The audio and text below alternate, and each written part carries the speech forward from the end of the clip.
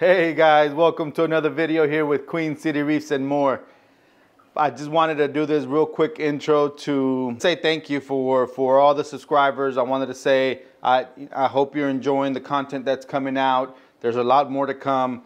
I really hope that you're enjoying this specific one because it definitely took a lot of time. You know, I was at his house for over three hours.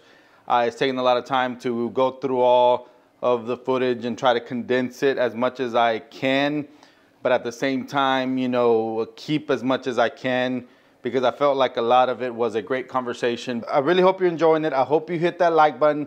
I hope that if you haven't subscribed yet, you consider subscribing. Today's video will be about his actual home aquarium, which of course he cuts frags from there and, and uses for the business. But it is a beautiful, beautiful setup, let me tell you. And so I hope you enjoy this video. And so if anybody else that's local to North Carolina here to the Charlotte area is interested in me coming by to doing a tank tour, absolutely, I'm more than happy to do so. Let's get to the video. Hope you enjoy it. Hope you like this video. Hope you subscribe. Let's get the intro rolling.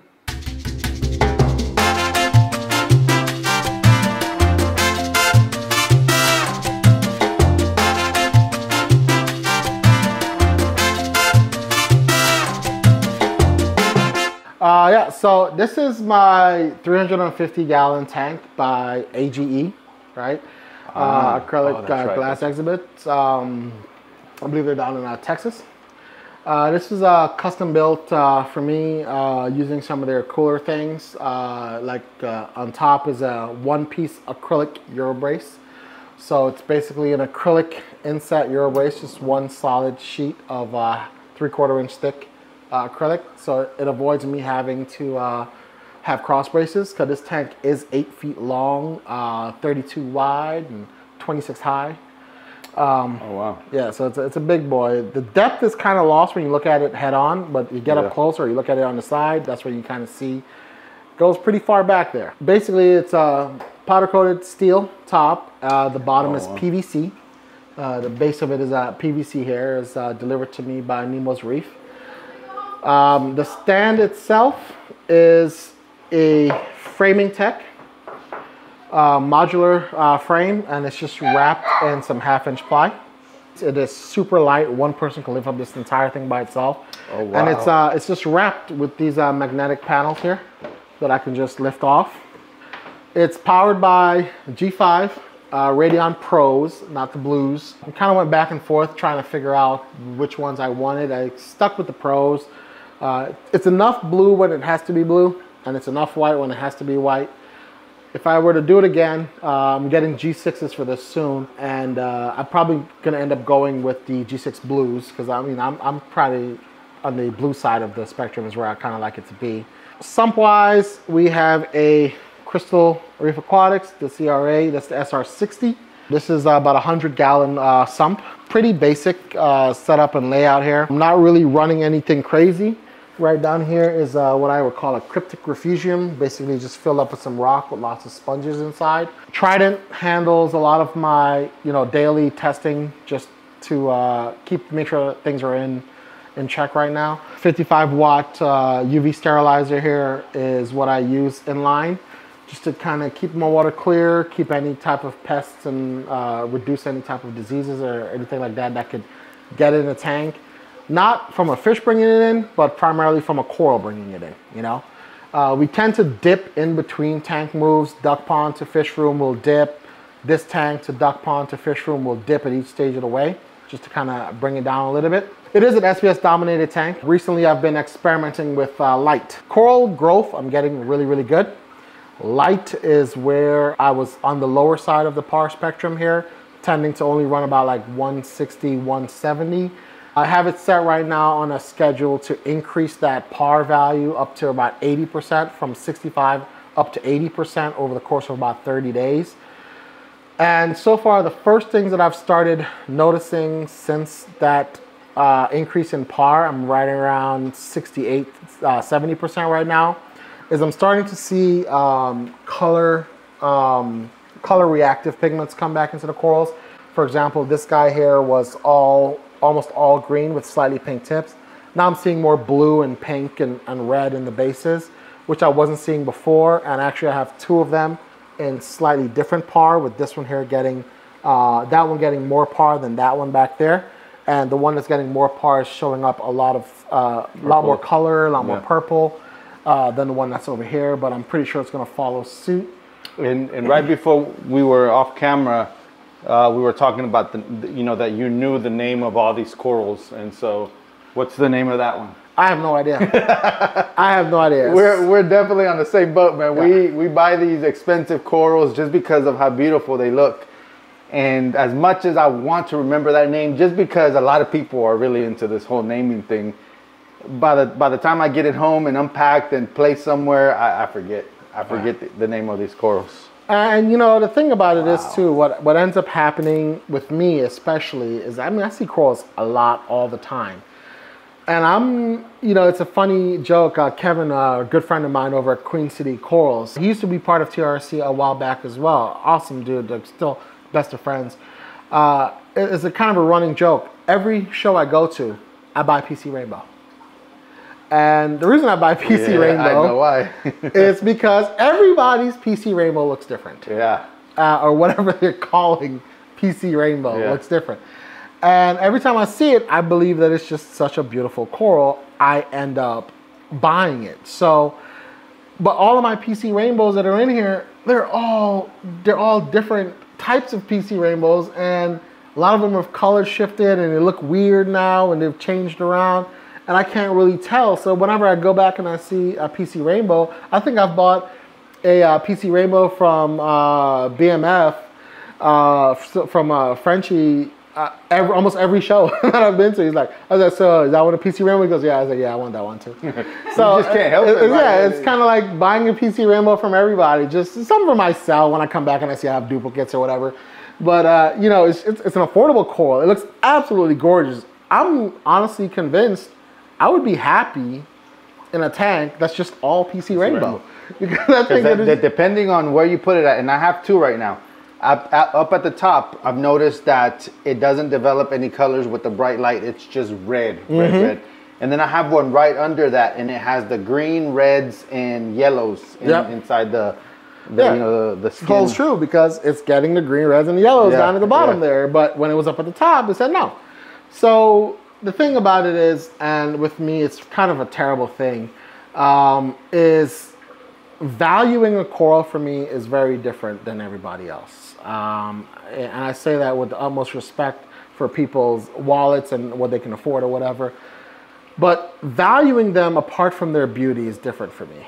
I, I'm, I'm exposed to them. I see them. I, I- can grow them. I have, you know, success with them. So when something gets to be this size, if I spent a hundred bucks for the frag, it is something in my mind that doesn't allow me to charge a hundred bucks for that frag. For me, I'm only willing to pay 20 bucks. I bought it a 100, but I'm only willing to pay 20 bucks for it. So when that goes up for sale on my site, it's going to be 20 bucks or 29.99 or whatever. And that's what ends up happening. Almost I would say every single frag on the website is named. It's from someone from somewhere because um, I very rarely bring in a lot of like um, maricultures and stuff like that. Uh, they just bad track record with keeping them alive long term. Uh, but the stuff that's named and it's been in the hobby for a long time, I bring them in here. They all start off here, like on this little rack. This is a prime example of some stuff that I don't think I have. Like for example, I thought I didn't have Spyro the Dragon, so when I bought a Spyro the Dragon, I don't even know what I paid for it. But then I came back home and I put Spyro the Dragon right here, and then realized directly in front of Spyro the Dragon was a giant Spyro the Dragon. So I'm just thinking to myself like, oh well, I feel kind of dumb, but I'm pretty sure Frenchie's gonna watch this right now. Uh, Mark French, for those of you who don't know from BMF, awesome frags by the way. Oh, I, I bought from him this yeah, last show. uh, he's probably gonna I bought watch- one of those. Yeah, he's probably gonna watch this and go, yeah, I knew that idiot was gonna buy that. so uh, you know, it- it's stuff like that that happens. I mean, I forget about things that I, I, that I have, um, and, and it happens because you know you see these things at shows in a little bit different light in a different area. You're looking at them from top down with some glasses on. You know, I don't know. Maybe you're just having a really great time because you're at the show and it's like, oh my god, it's The so adrenaline awesome. is high, Yeah, the like- adrenaline is super duper high. And you see these really cool things and, and you want it and you buy it and you realize, oh crap, I have it. I mean, I really don't know how many species I have uh, in this tank. Um, and YouTube viewers would know that, like, for the last time I probably gave an update on this tank, I had just started adding some things in here. Um, this tank is actually probably only about a year say- old. I gotta say that I, I appreciate you letting me film this tank too because you started your you know I don't know if you started your channel with this one but you started a series of this tank Yeah, here yep. and you have not given an update, An in such a long time and you are seeing this update here now. And the from that video, check out his his last video. You had small little corals. Small in little there. corals in there. And yeah. this thing is like completely, completely filled out. Yep. I mean, I know there's a lot of corals that still have a lot of growing to do, but I'd be one happy camper if my tank looked like this right now. Like, Yeah, and that's the thing. Like, you know, I never thought I would say I'm out of space in 350 gallons, but I am really struggling to find a spot. I'm gonna, you know? I'm gonna start asking you questions, and these questions really are based off of uh, what I'm experiencing and just trying to now gauge what to do in my own tank based on Mm-hmm. your experience here. And that number one question really is, how the heck do you have so many corals like right next to each other and not having the problem of? And I, and I can see some about to get closer. Oh, yeah. But you know, how do you how do you keep them from from war? You know, that coral warfare of killing each other and all that. You know, being so so close together. And I'll tell you on on my side, what I'm dealing with is I bought a bunch, a bunch of corals, and a lot of them have no name, and a lot of them do. But I bought them at that, you know, at this this size frags right here. And so when they're little, you're not thinking, uh, you know, in the future that they're gonna grow. Or in one of the biggest things that that I should have thought about is at least get to know the coral for for with a growth pattern because you never know what what the growth pattern. Some are tabling out, some are tabling like this, and so now that they're growing, I'm having to cut the sides and all that stuff because they're about to touch each other, and I'm like, man, I should have never put them so close to each other. So so what? So violence. So Vi- violence is, Violence, is how yeah. is how you do it. Uh, uh, and let me let me let me explain. Yeah, yeah. So, for example, like up here in, in, in the corner, you can see there's one, two, three, four frags there. One of them has completely engulfed that rock, the entire cap, like this guy right here. Let me, Like you know they're what? doing- Let me start. yeah. So you're talking about this Yeah, one right there, right? Exactly. So that guy's completely engulfed that rock. He chose to base out that large to wrap around instead of growing up, which Yeah. is what I expected him to do. Now the other three that are on that same precipice, they've kind of almost done the same thing with their crazy little base out that they're doing. So how do I keep it? I, I don't. I let them fight their battle. Now, typically that base, they'll decide at that base where they are happy. But where I find that they'll fight are in tips. Tips will make them mm. fight. Bases typically won't make them fight. So what I'll do sometimes is I'll go through there with what I call uh, like a dental pick with a sharp edge, and I just literally raise that entire line around them. Just an act of violence inside of the tank. Just raise that entire uh, piece just to keep it there. Two months later, it's back. so you know, Which is a constant. I just got tired of doing it and said, all right, go ahead, fight. See which one of you is going to go. Now, obviously, I took a backup. You know, I slapped off a piece and said, all right, I'm just going to hold this over. that that's yeah that you know, I took, I took a backup piece just in case, you know. But otherwise, you know, they're going to play out because realistically, even like in the 350 gallon tank, honestly, most people could probably fit like 12 full grown size colonies. Me, I kind of like them when they're about that size. I want, and I really want them to stay that size. yeah. It almost seems like that's the perfect size right there. At you least get to have to a keep a lot. variety. Yeah, yeah, yeah. But when they start getting like these guys, like super huge like that, then you're starting to run out of space. And I kind of built this rockscape in such a way. Uh, it's kind of like a cross between the the, the what is it, the Bonsai. NSA, Yeah, the bonsai NSA type situation. So each piece is modular. And uh, what I like to do with a lot of my larger colonies when they're starting at big colonies is that I, I take them out and I put them down on a plate because this is still very much a working tank, right? So I will frag out of here. So I will yank up a colony up out of here, cut a couple pieces off, put it back in, you know, maybe orient it different to make it grow in a different direction. Um, and you know, the thing about here is that I, I can't I can't forcefully make them grow in a direction and I can cut and snip and try to train them in that in that direction and it works sometimes. Uh, other times they just do what they want to do. Like I've been trying to stop this green guy that I don't know what it is. It's not a green slimer though. But I've been trying to get it to stop growing that way and grow that way. And it just says no. I just want to keep going that way. It looks like a bottle brush one. So basically what I've done is I just cut out the inside of this blue stag. Got it. And just let it keep going. And when it gets to that edge, I'll just cut that edge off and just let it keep going that way. And I don't know we'll see what happens when it gets there eventually. I've seen some videos from BRS, not BRS, Worldwide Corals, where they say that eventually they cut them so much that they stop growing from that because they kind of like, I don't know if they feel the other coral there, but sort of like coral, coral warfare and they end up just growing in a different pattern after after so many cuts or something like that. Yeah, so I let them sting first and then I cut them. Got it. So like for example, like my I know which ones are gonna sting. Like that tenuis up there is gonna is gonna sting with that green slimer. Mm. And I'll let them sting first and then I'll cut the piece. Just so it knows, like, no. You know? Yeah, yeah. Uh, this like guy's just he's just mean, like a violent coral that just grows like crazy. I, I actually stuck him in there and I meant to move him, but by the time I went to move him, he was already encrusted on there, and I just said, all right, well. You're staying there. Just do your thing, bud. That is a huge, that is literally like as big as my hand, probably bigger, bigger because it's further back, but this is a beautiful tank, man. Definitely beautiful tank. Yep. Uh, I mean, and, and, it's cool. Like maturity helps play out a lot. I mean, the fish load in here is not that crazy.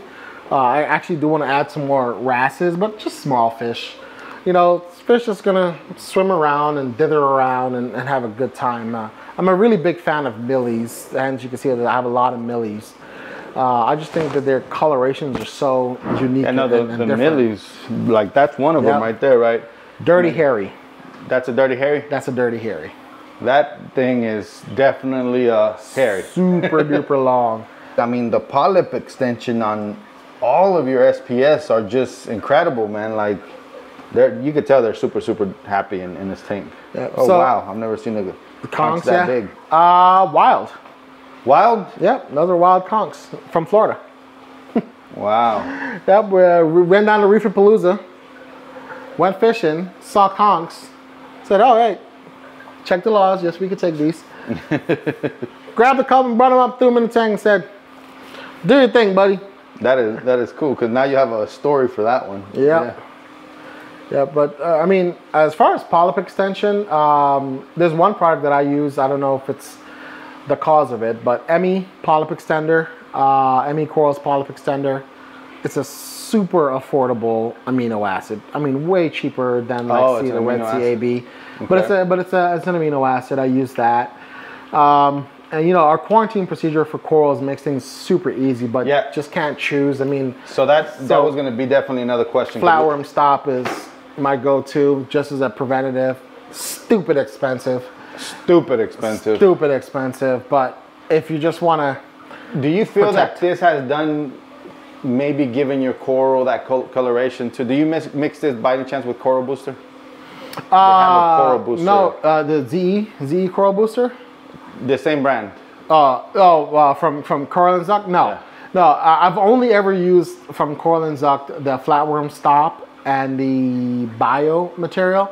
Um, I mean, I've been experimenting and thinking about, you know, trying uh, Reef Dude's uh, home home recipe for the wormwood to, to give that a try. I mean, I, I, tend to like to experiment with a bunch of different things, and honestly, yeah, me, me too. To be honest, this is just, uh, I just so, bought a new uh, amino acid from uh, uh, Aquaforest, mm-hmm. the Power Elixir. Okay. Um, seeing how that works. I was before that I was using just Aqua Power, and before that I used Red Red Sea.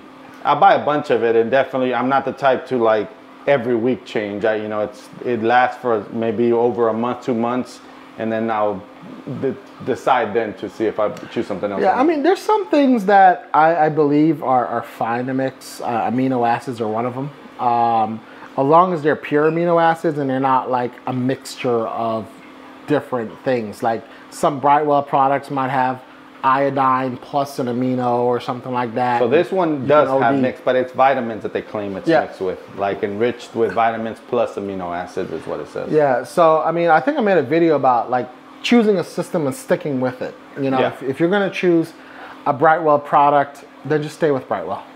You know, buy their amino, buy their salt, buy their things because a lot of those things are gonna be designed to work with each other. Yeah. It's when you're scrolling through Instagram and you see somebody's tank that's using some crazy new thing, and you're just like, oh, I gotta try that too. And then you throw that in, but then you're still using your Brightwell stuff, but then you realize that, oh man, I'm super overdosing iodine right now because all of these products have some type of a iodine or something like that in it, you know? Uh, Yeah. I tend people stick with a program if you're gonna stick with one. I definitely agree. But I think also as reefers though, it's hard to not want to tinker with new things, especially if you're that person that, and I've heard uh, uh, Jake from Reef Builders always mention this, uh, uh, the F, fear of missing out. You know, uh, you know, you hear of a new product, everybody by Guilty. it, and you always want to like, you know, ex- uh, you know, try it out. In my case, you know, I do these YouTube videos, so then I, I want to see, you know, how things work, and then be able to talk about them, and you know, create Oh, yeah. content for it. Um, so far, so good though. But yeah, no, if if if uh, I definitely agree with that advice. Is if it's something's working, stick with it. Why change it? But but also, uh, I think like when, whenever you're taking advice or you're finding out about what someone's doing, um, you know, you know, as experienced reefers, we'll know you know the right calcium, alkalinity, magnesium, nitrogen, phosphorus. That's great.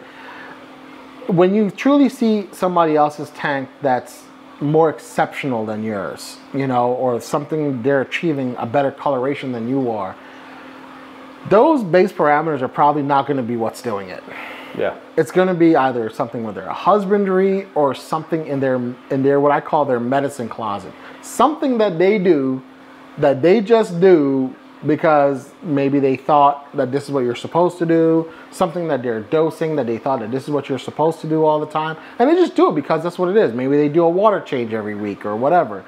And I think that's like what will separate this tank from that tank. And you know, I always look at the medicine cabinet. What do you have in yeah. your I'm medicine I'm, gonna, cabinet? I'm gonna need a list of that. yeah, I mean, you can take a look at my medicine cabinet right because, there. because you're right. Like I feel that my tank, I'm happy with my tank. I feel like everything's doing great. But I can tell you that the SPS in here look a lot better than they do in mine. And so now I'm thinking, how can I get it there? yeah, I- it's just it's look in the look in the the medicine cabinet to see what they're adding and what they're doing that is a little bit different than than what you are. And nine times out of ten, it's just something simple. It's that they're doing a water change religiously and consistently. Uh, it's that they're feeding their fish five or six times a day. You know, Instead of being that one you know, person that yeah. every other day or something right like that. yeah. boosting their nutrients up a little bit higher and they don't even know because when they test they probably haven't just fed their fish or something like that um, it might be that their par is set a little bit higher or lower or whatever than yours or just the amount of i mean every tank is so different uh, Yeah. in terms of what's going on inside that you really just have to look at their medicine cabinet just make sure that you're using either the same things or along the same line or principle but I would say for the most part, it's this is I, I just don't mess with it too much. Did you build this rockscape yourself? Yes. So this rock is actually Arc Reef rock. Um, Arc Reef. So Arc Reef is uh, uh, run by Tyler from Addicted Reef Keeping. Uh, addictive reef keeping, and uh, I talked to him when he first brought out this line of of rock, um, and I wanted to get in some. Now this was all purple before. My urchins, purple Yeah, yeah. urchins over there, they're they're really good at keeping it clean, um, scraping off all that coralline off of it. Uh, but what I did, or what my idea was, I, I, kind of laid it all out in here, and I wanted to make as many flat surfaces as I could to try and suspend as much rock as possible off of the sand bed. And I, I mean, I think I accomplished that pretty well with most most of the structures only having, you know, one or two, maybe three points of contact with the actual surface of the sand. So I, I elevated it up. I, I kept everything at halfway, you know, slightly below of halfway for all of the rock structures, and I let the corals give it the height. You Yeah. know, um, that stag gave it gave it the rest of that height. It looked kind of weird at first. Yeah, it takes patience, Yeah, right? yeah. But you know, I let the corals give it the height. Um, and my goal was just have as many flat surfaces as possible for putting frags and corals and stuff. But as things grew, you know, um, just you just run out of space. Just run out of space. I mean, top down, this thing looks like a, a different world. Yeah, no, there's there's there's a big difference with looking it up from the front, and it, looks beautiful. But I've seen that difference too. You know, when you do a top-down view, the colors even look different, and Oh. I'm assuming it has to do with the with the glass. But it's just it's amazing looking at a tank. That's why I also like those lagoon tanks. You know, mm. that that you're able to see. But I also like you know it. it that's why you have to have multiple tanks. Yeah. pretty much. Um, what uh? Do you use your own custom settings on the lights, or do you use you know that popular AB Plus or one of those presets that Ecotech So has? I, I use a I use a custom setting. Um, I'm running my I'm running pretty basically all of my blues all the way up. Um, I only run whites for around four hours a day. Uh, so white lights plus the normal blue spectrum is only for about four hours a day. My, my light schedule is actually pretty long because mine doesn't end until around 10 p.m. Uh, is when mine ends. Um, but basically is that I'm, I'm for a low and slow versus a, high and bright. So some people are running their lights for maybe six hours or eight hours, but it's intense par for those eight hours. They're like 60, 80, 90 percent, and then they shut off. Uh, for me, I run the lights a little bit lower, but for a longer period of time. Um, and what for me, what that allows me to do is that the fish are active for a little bit longer, so they poop a little bit more. You know, uh, I do end up having three meals a day for them or more. So there's a morning, an afternoon. so you feed your and- fish in yeah. here three times a day, Yeah, about three day. to four times a day. Yep. Wow. You know, I'll walk by here, I'll see them look a little bit hungry, or You, I'll put uh, some more food in. You feed the corals a mix of everything, every brand. What do you feed your fish? So uh, I'm a big believer in uh, nutrition through uh, like real food, you know. So uh, we partner a lot with V2O Foods. We like a lot of their stuff, Oh, I know- I'm right? familiar with them, So yeah. V2O Foods is what we feed as our frozen food of choice for like a quick feed. Um, for more comprehensive feeding, uh, what we do is that we make our own food, right? Um, so I go out, I buy the fresh, you know, um, oysters and clams and some whitefish, usually cod or pollock or something like that. Uh, some mussels, some squid. Uh, grab spirulina, Vitachem, Selcon, the whole nine yards throw them all in a big bowl uh, blender, blend it all up into something that'll break apart easy in here, and that's what we feed here. Uh, and lots of algae, of course, for the tanks, and you know some algae flakes. We have a big old bucket of flakes. We come by here every once in a while, and just throw a big bucket of flakes in there, just get them, um, just get them to eat. Uh, but but yeah, we're definitely a big proponent of uh, of health through nutrition. Um, starting off with good, healthy thing, you know, like for example, Big Blue here is a, he's a uh, he's a rescue fish, and you know he's scarred up. He, he's self-inflicted. He does it when he swims up into the rocks to hide and, and live or whatever. But you know, basically all of those things is, is what we accomplish with just making that food. It's cheaper when you're feeding these many tanks, these many fish you know, just blister packs is just not going to work for you. Yeah, no. You know, you're gonna you're gonna need something more common. So we make big old two gallon flat packed uh, mixtures of food And that lasts you? months. So basically, one one preparation of it lasts me two, three, four months. So like we're down to like a last pack, so I can kind of show you what that looks like. Um, but then after that pack goes out, we'll go buy, you know, it's maybe a hundred bucks worth of seafood. And a lot of it you can go buy from the cheapest places, the Save-A-Lots and Costco's and stuff, you know, frozen shrimp. Yeah. You don't need the expensive, deveined, diamond encrusted ones. You just need raw shrimp. Yeah. So save a lot, Costco, Big Al's, wherever. Just go grab some and grind it all up, make it into a food for them. But feed them. Uh, they eat all day long. Fish, I don't know why people think fish eat every other day or something like that, but their main goal in life is I wake up, I eat, I make babies, I eat, I go to sleep, I might wake up and eat some more. and that's why they have these very inefficient stomachs. As soon as you go up close to the tank, they poop. That's all leftover food that they probably had in their stomach that they were just kind of sipping on throughout the day. But now they see, you, oh, the food man's here. Poop. Let me clear my stomach. Let me clear my stomach. Food man's gonna bring new food. So if I see them poop out everything that I uh, gave to them, uh, I'll typically feed again. So water changes. I know that with those systems over there, Mm-hmm. you, your water changes come from all the water you take out due to shipments and customers and all that.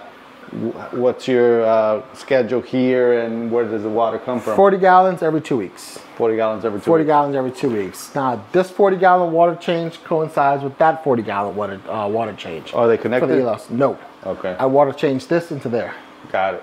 Got it. and then I replace the water in here. I know that this water here is going to be pretty much pristine uh, in terms of the parameters, the calcium levels, nitrate, whatever. I know the water is going to be pristine. Uh, my cleanup crew for the sand keeps things super clean down there. I don't disturb my sand bed At uh, all? in here. No, not really. No vacuuming, no, no Nope. raking it up or anything like that. Nope, Wow. just let it go. And so the critters typically keep that pretty uh, pretty clean down there. So I'm what I'm doing that water change for primarily is to replace trace elements. Um, I tend to weigh an ICP test every other month, uh, sorry, every three months for the shop systems, one for here. Um, but I don't send it for there because I know whatever this is reading at, that's what there's going to be at. Yeah. Um, but I just, uh, but I, I did find that with, without water changes, even dosing some trace elements, I'm still running low on things. You know, like on they're not optimal. Yeah, I, I yeah. don't get the polyp extension I'm looking for uh, without the water changes. Uh, things don't become as fuzzy anymore. Uh, I don't know. It just feels off in the tank, and uh, as soon as I do a water change, everything kind of just sparks back up. They start Yeah. looking healthy again.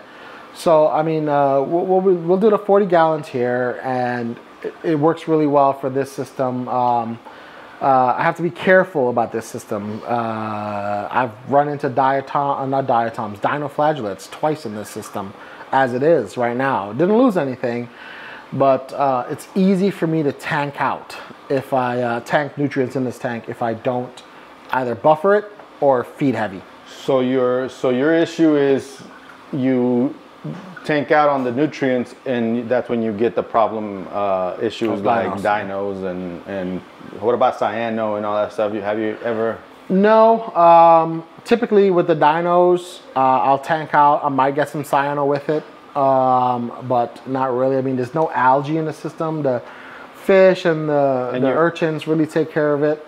Uh, so it's really easy because of growth in here. Uh, I do find myself feeding this tank heavy uh, when things are paling out or corals are not looking as vibrant anymore. Uh, if I'm losing reds, uh, I typically say, hey, we got to pick up the feeding in there. Feed three, four times a day. Just dump food in. Um, I mix my own phosphate and nitrate. Uh, they work really well for quick fixes or if I'm fighting with dinos or something like that. So that that was gonna be my next question. So when you have had dinos, what do you do to fix that issue? Food. Food, just to bring up those I, nutrients back I up. just dump food.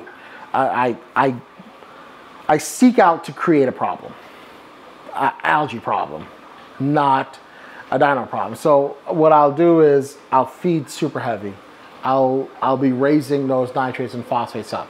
Now, funny enough, So describe feeding super heavy enough for where all the fish eat it, or or enough where you end up creating, you know, issues to where it all goes into your sump and you know, like, what do you mean feed heavy? So feeding heavy for me is feeding the fish enough that they can consume it multiple times a day, got so it. that they're just pooping and all So not just fat. once. Who knows? No, who cares no. if they eat it or not? But- just but, uh, multiple times a day. but also feeding corals heavy. So lots, powders. lots of powder stuff. You know, uh, Blizzard from Brightwell and Reefroids and Benepets and just forcing the system itself to rebalance and bacterial dosing.